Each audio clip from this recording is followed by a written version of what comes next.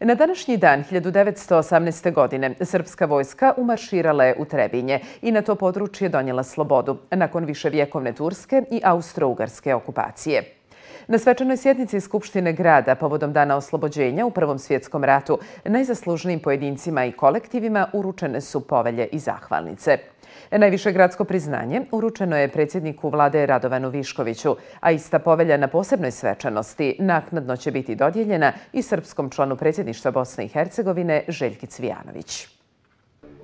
Premijer Republike Srpske Radovan Višković, kome je uručena povelja grada, izjavio je da ga ovo priznanje obavezuje da nastavi da podržava ubrzan razvoj Trebinja. Najavio je da će se u narodnom periodu nastojati da se Hercegovina putnom infrastrukturom otvori prema ostatku Srpske i Srbiji. Trebinje se ubrzano razvija i jedna je od najvećih turističkih destinacija u Srpskoj i BiH. Ponosan što će Trebinje, Hercegovina i ovaj dio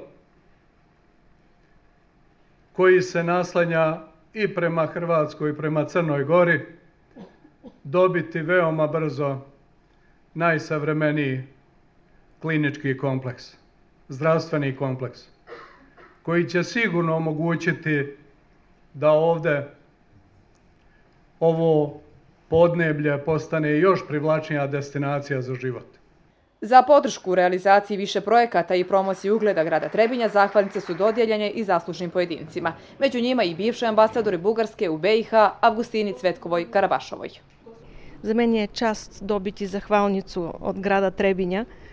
Izuzetno mi je zadovoljstvo što ste prepoznali moj trud i napore kao bivšeg ambasadora Republike Bugarske za razvoj naših dobrih eh, bilateralnih odnosa. Povelja grada pripala je dugogodišnjem kulturnom radniku Slobodanu Vujeviću, a posthumno privredniku i humanisti Slobodanu Stankoviću. 13. novembra 1918. godine okončana je krvava 40-godišnja okupacija Trebinja. Tačan broj stradalih Srba sa područja ovog grada i Hercegovine u Prvom svjetskom ratu nikada nije utvrđen. Zahvaljujući svima njima mi uživamo i živimo i stvaramo u miru.